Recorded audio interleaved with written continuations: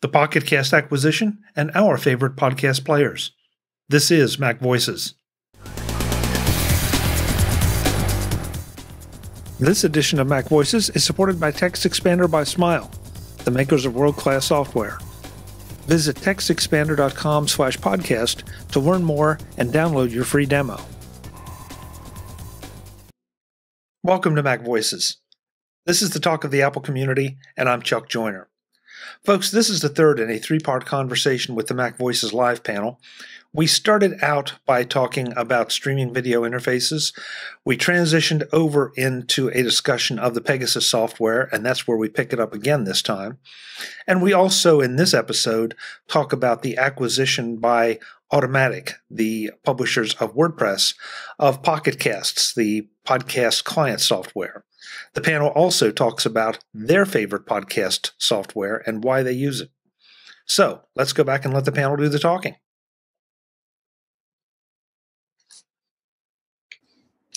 Um, I'm just trying to look it up here. I see, I knew they had acquired Tumblr a while back. Tumblr, right? I was going to say mm-hmm. Tumblr, right? And that's not a podcast app. I mean, that's no, uh, that's more of a another publishing platform, a bit more simplified and a bit more specifically structured than WordPress right. is. Um, I, I don't know. I mean, it.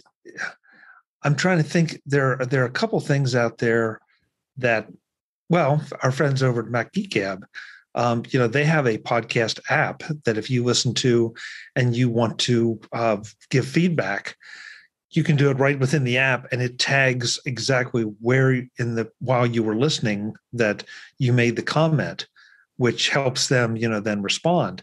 And I'm wondering if if having pardon me, an automatic or excuse me, building that something like that, functionality like that into a client could enhance the podcast producer's experience and the ability for interaction. Now that may be a stretch or it may not, I don't know, but it sounded really good. Yeah. You know, the I mean, other thing the other thing they bought recently was uh, Day One. So it wasn't That's a right. podcasting thing. Was day one? Oh. Yeah. Right. And uh, and I do recall um, there were people at Automattic that were making comments about how they were planning on making day one really tightly integrated with WordPress.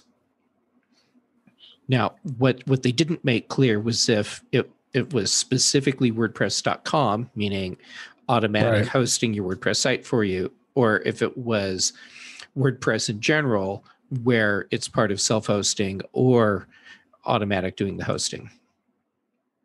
And the day one integration would make a lot of sense from a blogging standpoint if you are if you've adopted day one as a journaling yeah yeah option it would be interesting because then they, they, no one would have to look for a back door they would just automatically go follow you every day. Yeah, there you go. yeah. Um, they don't have to do a thing. You do the work for them. Yeah. Now, Craig in the chat room is saying that he he thought he read something about Automattic got pocket casts and now they're trying to sell it already, but he's not able to find anything. I couldn't either with a real quick search. So I haven't, have, I haven't heard that. I, I, I yeah. wouldn't think that the uh, sale would even be final. You'd think in that case yeah. they just they just cancel it takes a while for these things to to mm-hmm. go yeah. through. I, you know, had... I, I, I thought you know this is amazing that they they these guys sold Pocket Cast to NPR. NPR lost money on it for four years, and then they can turn around and sell it.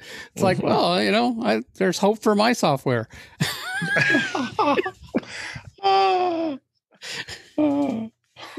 well, but Jim, you know, as I recall, one of the one of the things I read about that is that they had lost like eight hundred thousand dollars on it. Yeah, and you know, it's like, okay, so how do you lose eight hundred thousand dollars on um, podcast software? Salaries, I guess. I guess. But yeah, yeah, so my my program is way more profitable than than that. So clearly, I should be a, a millionaire. uh, well, several you, times over. Call us over.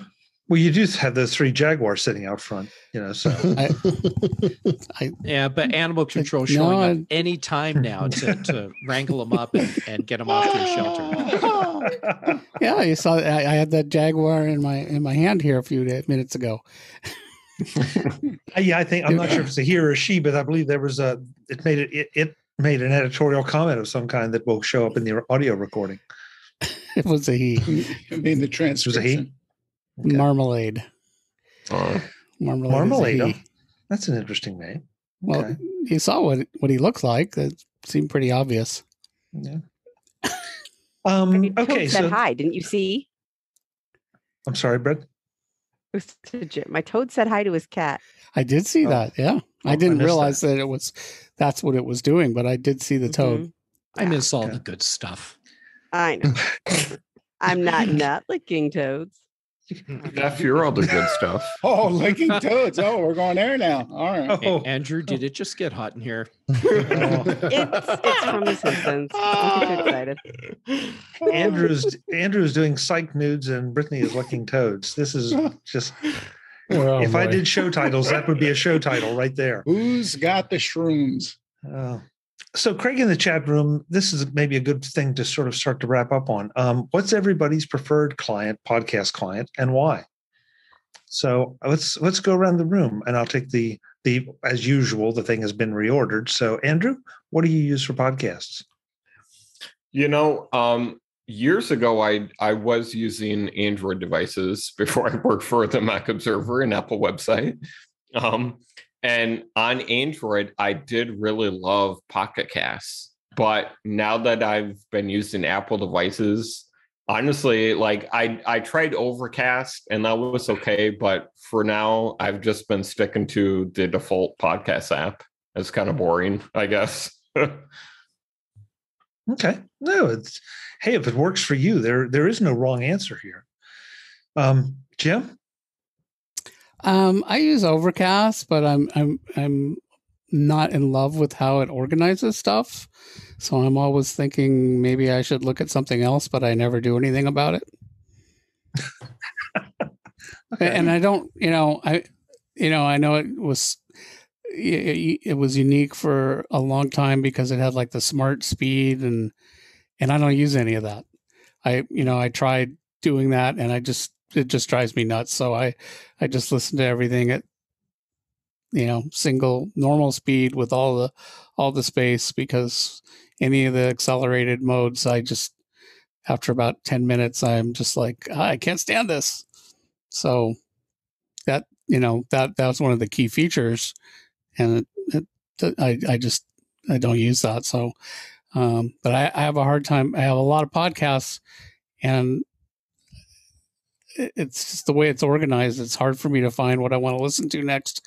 Seems like I'm doing a lot of back and forth, and um, but I'm also just sort of like lazy and haven't actually gone out and done any research. So I just keep using it, and it's you know it's works fine. It's sounds nice, and you know don't miss any podcasts. I guess you know recently in the last week or two, apparently the Apple podcast app has been missing podcasts. I read. Has anybody else? Has anybody had that problem? I, I saw some things in my RSS feed. Like I think Jason Snell was saying that he was having, you know, some of his listeners were like, you know, why didn't you come out with this podcast last week? And he's like, we did. And apparently Apple, the Apple podcast player was missing episodes. You know, I have read a lot of uh, complaints about the podcast app lately. Oh. Missing podcasts, like syncing issues. But that's why I'm saying, like, I've personally never seen is- any issues with it. So it's good enough for me. Frank, what do you use?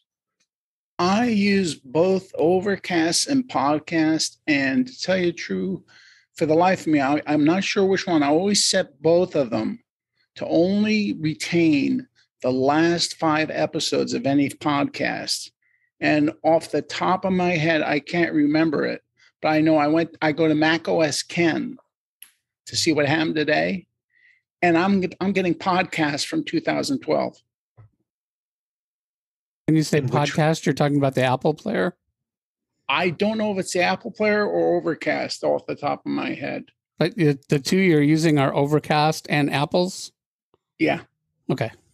Now, App, I know Apple's was doing very well with the five, uh, five episode rule that I put in. So it may very well have been Overcast, but it's just so weird. I go to like hit play today, and I have it all set up, play the you know oldest to newest, but no, never hold more than five episodes. And I went in one day and I looked, and I'm listening to this episode, and I'm going, this stuff doesn't sound right. And then I look at the date, it was, it was somewhere in 2013. I know one thing that I, I wish Overcast had, and maybe it does, and somebody can tell me. And I don't know if any others do it, but sometimes I'll be listening to something and then there'll be some other podcast that's like, okay, I want to stop this, go listen to the other one, and then, and come, then back. come back to it. Now it does remember where I was.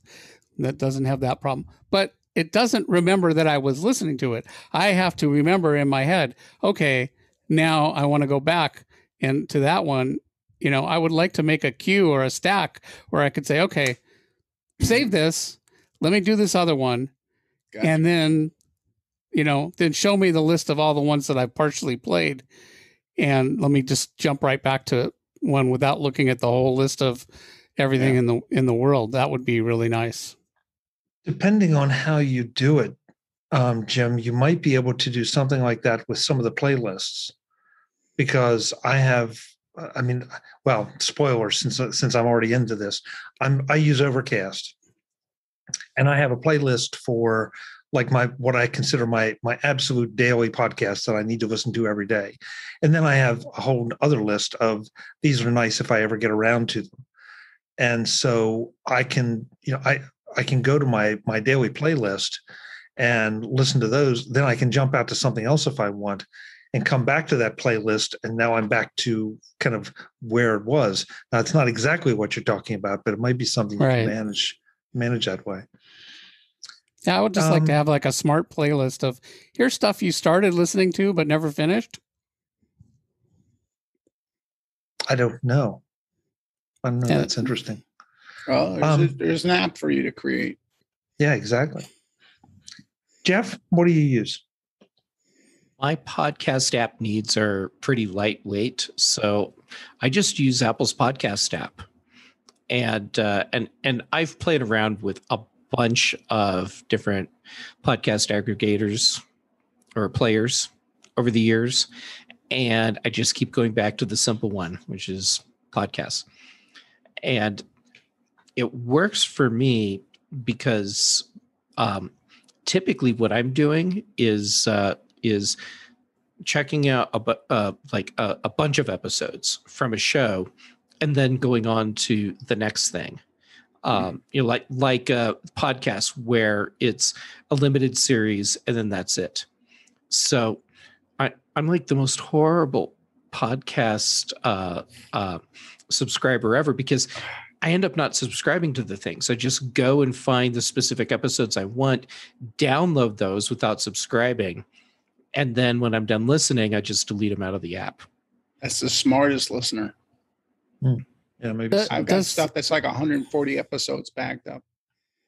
Does Apple's podcast player do streaming these days? I know it didn't used to. I think it does. Yeah, I think it does. I'm assuming car. some of the stuff that I've listened to was streaming. Because I usually don't download anything on my uh, mobile devices. Yeah, David, oh. what, what's your choice? Well, I mean, I was a Downcast user. I'm going to uh, go all, all, way off the wall here from everybody else's choice. Um, wow. And then, um, and then uh, I decided I like Pocket Casts, as uh, we've been talking about here. Um, I I like the interface of Pocket Casts. I like the way I can organize all the episodes that I that I want to listen to. I I have I basically uh, I do Chuck, and I, would be interesting to see what your daily your daily uh, podcasts that you have on your list. Um, but um, I just have show. a list I mean, I just add a lot of. I mean, I probably have about seventy or eighty uh, different feeds of, of stuff for the way of the technology, and I look through the list, and it makes it very easy to get to them, and then I can decide, oh, you know what, that might be something interesting that I want that I want to find out more about. Um, I like the way you can filter things, and um, and and, I like the the way the interface is. Um, I always, I, I don't know, I found the Apple's podcast app to be very cumbersome to to to navigate a lot of times, my opinion. Um, and it, it, I've I found hard to navigate, but you know now with the with the with the paid services, you're, you're almost going to going to be kind of stuck if you want to be able to listen to anything that's uh you know with the with the paid uh, podcasts uh, using the Apple Podcast app. So, but uh, I'm I guess I guess I'm the only one that uses podcast as a full time uh, daily driver. Hmm, interesting, Brittany. Are you a podcast listener, and what do you use? I use Overcast. I've been using it long enough that I was grandfathered in to the other things, so I don't actually pay the subscription. I did briefly because I was wanting to listen to educational content without pauses, but um, but now I'm not doing that. So I I just use Overcast like the regular base app. This edition of Mac Voices is supported by Smile, the makers of Text Expander. You already know how Text Expander can make you more productive on your Mac, right? How it can turn a few keystrokes, called a snippet, into a word, a sentence, a paragraph, or a page of text or code. How it ensures that your message is clear, consistent, and correct, whether you use the snippet or any or all of the other members of your team use the snippet. But I want to remind you that Text Expander is available for your iPhone and iPad as well, with those same benefits that you enjoy on your Mac. Using the Text Expander keyboard, you have access to Text Expander Power in any app that allows text entry on your iPhone or iPad. Get faster and more efficient in mail, messages, and more. But it gets better. Many of your favorite note taking and writing, task management, and social media iOS and iPad OS apps are already Text Expander enabled. Apps like DevonThink, OmniFocus, Ulysses, Drafts, Bear, and Byword they all understand the power of Text Expander on the iPhone and iPad, and you should too. Visit TextExpander.com to see the complete list, find out everything that it can do for you, and then download it on the App Store. That's Text Expander for iPhone and iPad by Smile, the makers of world class software at TextExpander.com. Thanks to Text Expander and Smile for their support of Mac Voices. Okay. Well, as, as I said, I use Overcast and as a couple a couple of you have referenced, I mean, there are two they're two killer features for me. Three really, the the ability to the the the multi speed thing is the algorithm is the best I've found, no question. Absolutely. The, yeah, oh, the, yeah, the ability to take out the pauses, um, you know, it can flatten things out a little bit, but it also speeds things up. Um, but the one of the big ones is that I can upload since I'm a, an Overcast subscriber. I can upload a substantial amount of audio content from other sources, and it will apply those same speed and silence algorithms to it. So I can march through those at the same speed that I'm accustomed to.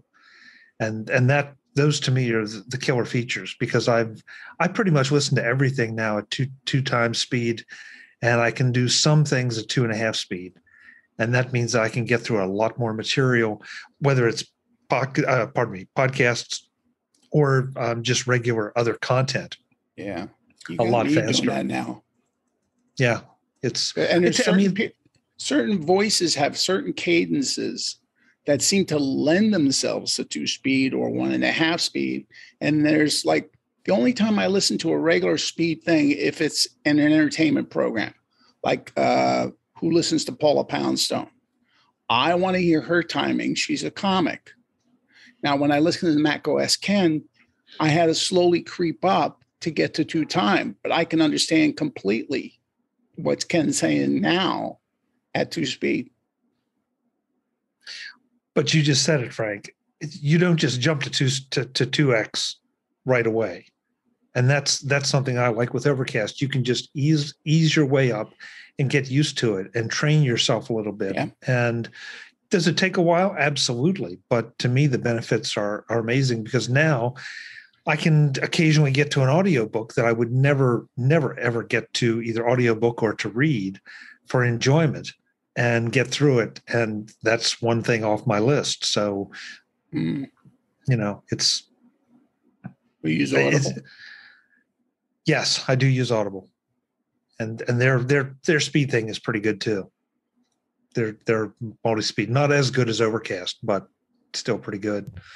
So yeah, I mean, again, there were no right answers to this question. It's just you know what the preferences were and why. So um, I'm just there, saying, you know, there. Oh, Britt, sorry. I don't know what I don't know about the native Apple app actually, and maybe I should, but I do like the way that Overcast has implemented shortcuts because it means I can actually include listening to a particular mm. playlist as a part of my routines mm. that I'm already enacting with shortcuts. It's especially good for something. I have no mm-hmm. idea. Like I was saying, I yeah, I'm sorry, I don't know about the Apple one because I was already yeah. in shortcut or already in Overcast before shortcuts with shortcuts. Mm-hmm. But um yeah, it's, it's it's especially good for me for playlists of podcasts that are not fun, but I should listen to. And so I'll put it as part of my routine and it just automatically starts playing which means I'm going to listen more likely than starting it myself. You will listen. Mm-hmm. Uh, the podcast app, I'm looking right now, Brittany. There yeah. are quite a few actions. So you could probably, if if you wanted to use a podcast app, mm-hmm. uh, uh, use that with the different routines you have. And have, kind of funny pod, that uh, I doesn't have playlist, does it? Let's see. Uh, subscribe. Uh, details. Get episode of podcast play podcast. Hmm. No, I uh not playlist specifically. Unless it's a parameter in one of the uh in in one of these actions. Okay. Yeah. Interesting.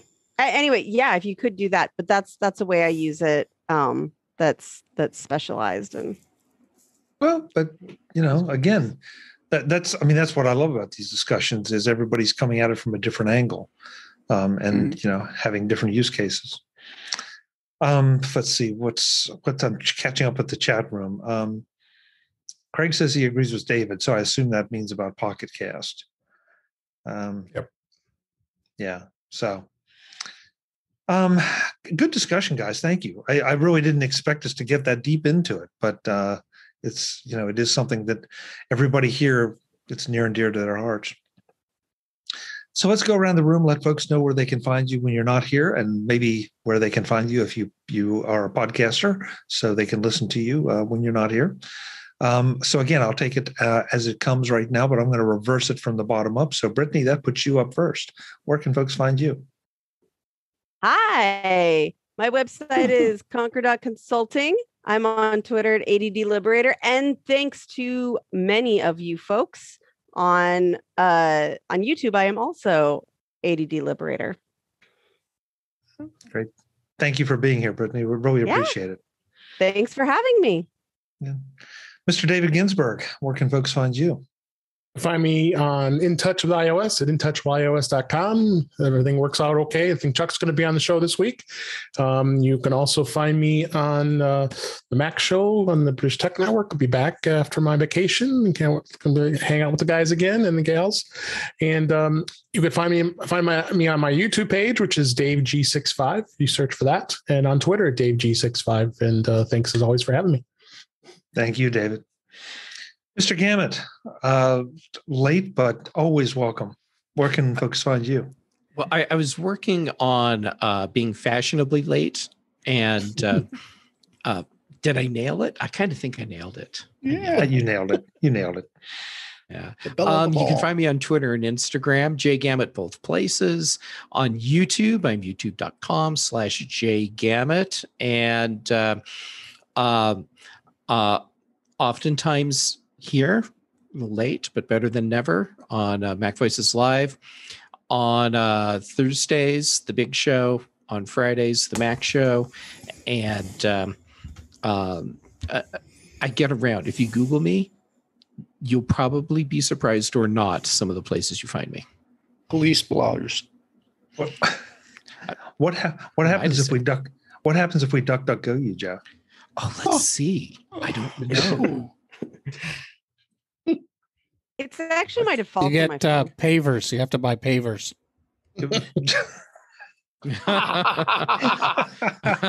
ah, golfing pavers. There you go. There you go. Huh. I, I, okay, I'm totally interrupting because why not? So I'm in DuckDuckGo and I type my name in, and the suggestions are Jeff Gamet, Jeff Gamet logging, Jeff Gamet Boulder, Colorado. I just did Jay Gamet. About, I want to My top Jeff is Gamet YouTube logging. and DuckDuckGo. So yeah, same thing. And then a bunch of Mac voices, actually. huh. your um, Twitter, okay. then LinkedIn. Yeah. But there's apparently a LinkedIn gentleman who's um, is another Jeff Gamet, and I'm not going to mention where he where he is employed just because of privacy. But interesting. I, I found a Jeff Gamet um, once when I when I was doing a, a search where he's um, like a like a bodybuilder or something and teaches people how to uh, um, like have build their bodies build build their bodies. Yeah, yeah, yeah. That that thing where, where they're, they're, like, "Oh, me so strong," you know that. Yeah. you know why I'm gonna why I'm keeping continuing to work under my maiden name, right? You try no. to Google my past mistakes as a Smith. Mm. ah. totally, totally makes sense. I mean that that's why I've started uh, uh, using the name Brittany Smith for all the stuff I do online. So, in other words, Brittany, you have the ultimate defense against Pegasus. You just can't be found because of all the. the you, you, are the, you're that one lone tree in and if you spell it wrong, you'll find a whole other set of Brittany Smiths. Yeah. wow. It's a bit. It's a the bit gift common. that keeps on giving. Yeah. Exactly. yeah. Yeah. See, according to Duck Duck Doe, apparently I died last December. Did you? I am oh, so sorry to hear that, Jim. We're sorry, Jim. But we're so Thank sorry for, for joining us anyway. That was where, so where, nice of you. And, where do we send flowers? Interesting that I started showing up here just a month later. Mm. So you came you that's what you came back just for us. are made of. You came back just for us. Thank you, Jim. Oh man. Frank Petrie, where can folks find you? Well, you guys are making me feel like odd man out. So I am now working on building a podcast. Uh, you can find me on Screencast Online once a month uh, in their magazine. You can find me here every Tuesday night. I'm on Twitter at uh, FPetrie and on Instagram at P H R A N K Y. Thank you, Frank. Good to have Thank you as you. always. Jim, I, I don't know what to say. I mean, are you evidence of resurrection? Is that what's going on here? so it appears that you cannot find me on DuckDuckGo. That's the collection. I've gone through several pages and I, you know, you'd think my name would be more Google proof than Brittany's, but it's, it's mine's pretty, mine's pretty Google proof. Um, but you can find me at provue.com as always, and uh, Jim ProVUE Jim on Twitter, and uh, a new place you can find me. You can find me here, and you can find me at Core Coffee if you're a developer. Every other week, there's a meetup. It's out of Vancouver, and that's yeah. kind of fun. Sunday mornings. So if you're a developer, come come join us there. I, I assume that's a, a Zoom or something of that. It's nature. actually. I, say, I didn't think you were in Vancouver, so yeah, it's it's it's not Zoom. They're using Google, uh, whatever the Google Meet thing sure. is. Yeah, but the Kleenex way of saying Zoom. Right, yeah, but it's have, but it's mm. but it's actually you know it's actually not it's not Zoom. It's it's the Google one. Right. They and, used to be Hangouts, and it's it's now it's I think else. Meet. I think it's Meet. I, I don't know if it's from Hangouts, it, and it's very Zoom-ish. It looks just well, like Zoom. It's got a grid. It's got it's got um, breakout rooms. It's got um, chat. Um, There's also got video, I recall, because so, I, I so know my daughter lives in Vancouver. Tissue. Excuse me. What, Jeff? I, am playing off. Uh, I'm riffing off of. Brittany. Oh, oh, oh, oh, right, right, right, right. but, but yeah, it's. I I discovered it during Dub Dub. They had, it was on the list of events. They had one, and it like turned out I was like, oh, it's, it's a regular event. Um, I guess originally it was, they met at coffee shops in Vancouver and may do that in the future again. But uh, for the last uh, year and a half, they've been doing it online, and hmm. uh, it's a neat group. It's fun. Good. Thank you. Thank you. Last but absolutely not least, the man who's going to be riding the winged horse for a while, Mr. Andrew Orr. Where can folks find you? You know, that's true. So, uh, first, you can definitely find me on Twitter at Andrew or not. Uh, you can find some of my writing if you type in macobserver.com. And I'm writing about Apple, privacy, security. Uh, speaking of podcasts, you can find me on. Um, we, we do have a podcast we do every day. I'm usually on the Friday one, that is Security Friday. And yes, uh, this Friday we will be talking more about Pegasus. yeah, there'll probably be more to say by then too. Yeah, unfortunately. Thanks for being here, Andrew, and thanks for enlightening us uh, and maybe making us all feel a little bit better. Everybody yeah, except Jeff, we we know he's the target. So yeah, yeah. Folks, I'm Chuck Joiner. This is Mac Voices Live. We do this Tuesday nights, 8 p.m. Eastern, 5 p.m. Pacific. We'd love to have you join us, just like the folks in the chat room did tonight. Chat room, thank you so much for being here and thank you for uh, participating. We always appreciate it. And we always appreciate all the folks who join us live, even if they prefer to stay in hiding. Who knows? They may be targets of Pegasus. I don't know. Until the next time, and as always, thanks for watching. Visit MacVoices.com for show notes and to connect with Chuck on social media. Get involved in our Facebook group or like our Facebook page, and get more out of your Apple tech with Mac Voices Magazine, free on Flipboard and on the web. And if you find value in it all, consider supporting us through either our Patreon campaign at patreon.com slash macvoices or by making a one-time donation via the PayPal link on our front page and in the show notes of each episode. You will join these fine people who help bring you Mac Voices.